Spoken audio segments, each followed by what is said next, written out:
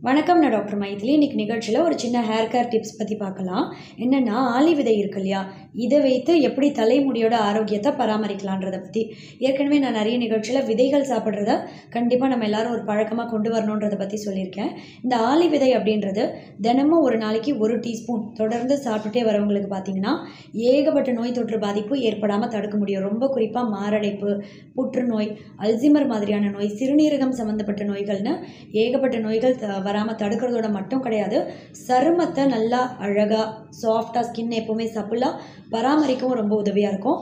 தலைமுடியும் உதிர்வு இருக்குது அப்படின்னா அதை சீக்கிரமே கம்மி பண்ணி தலைமுடி நல்லா அடர்த்தியாக வளரவும் ரொம்ப ரொம்ப உதவியாக இருக்கும். இப்போ இந்த ஆலி விதையை வைத்து எப்படி தலைமுடியோட ஆரோக்கியத்தை பராமரிக்கலான்றதை பற்றி நான் சொல்கிறேன் மூணு டீஸ்பூன் ஆலி விதை எடுத்துக்கோங்க.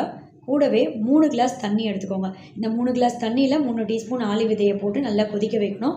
கொதித்து இது நல்லா குறைந்து ஒரு கிளாஸ் அளவு வந்ததும் அடுப்பு ஆஃப் பண்ணிவிட்டு என்ன பண்ணணும்? நல்லா சூடாற விட்டுருங்க.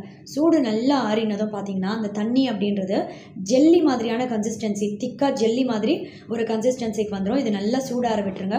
சூடு ஆறினதும் வடிகட்டி இந்த லிக்விடை எடுத்து என்ன பண்ணணும்? தலையோட அடிபாகம் ஸ்கேல்பில் மட்டும் நல்லா தேய்த்து மசாஜ் மாதிரி பண்ணிவிடுங்க ஒரு மணி நேரம் அப்படியே ஊற விட்டுறணும்.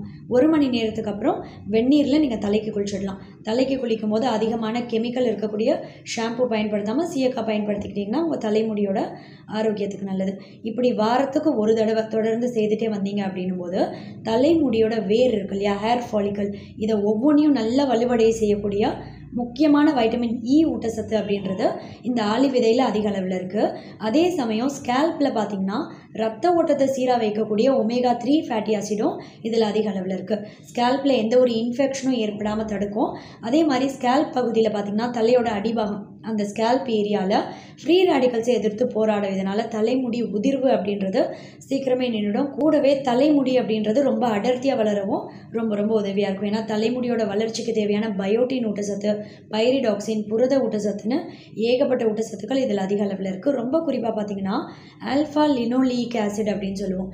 ஏஎல்ஏ அப்படின்னு ஷார்ட் ஃபார்மில் சொல்லுவோம். இது பார்த்தீங்கன்னா கிட்டத்தட்ட எழுபது சதவீதம் இருக்குது இந்த ஆலி விதையில். இந்த ஆல்ஃபா லினோலிக் ஆசிட் அப்படின்றது தலைமுடி உதிர்வை சீக்கிரமே கம்மி பண்ணுறதுல ரொம்ப முக்கியமான ஒரு வேதிப்பொருள். இதனால் ஆலி விதை அப்படின்றது தொடர்ந்து ஒரு நாளைக்கு ஒரு டீஸ்பூன் இன்டேக்காகவும் நீங்கள் சாப்பிட்டுட்டே வரலாம். அதே சமயம் வாரத்துக்கு ஒரு தடவை தண்ணியில் கொதிக்க வைத்து உங்கள் தலைமுடியோட அடிவாகம் ஸ்கேல்பில் தேய்ச்சிட்டு நீங்கள் தலை குளிச்சிடலாம். இப்படி தொடர்ந்து செய்துட்டே வந்தீங்க அப்படின்னும் போது தலைமுடி நல்லா அடர்த்தியாக வளரும். கூடவே நேச்சுரலான ஒரு ஹேர் கண்டிஷ்னராக செயல்படும். தலைமுடி பார்த்தீங்கன்னா ரொம்ப சாஃப்டாக சில்கியாக ஷைனியாக தென்படவும் ரொம்ப ரொம்ப உதவியாக இருக்கும். கூடவே தலைமுடியில் பார்த்தீங்கன்னா ரொம்ப குறிப்பாக நிறைய பேருக்கு ஹேரில் வந்து ஸ்ப்ளிட் அண்ட் ஏற்படும் இல்லையா? இந்த பிரேக்கேஜ் ஏற்படாமல் தடுக்கிறதுக்கும் ஆலி விதை அப்படின்றது ரொம்ப ரொம்ப உதவியாக இருக்கும்.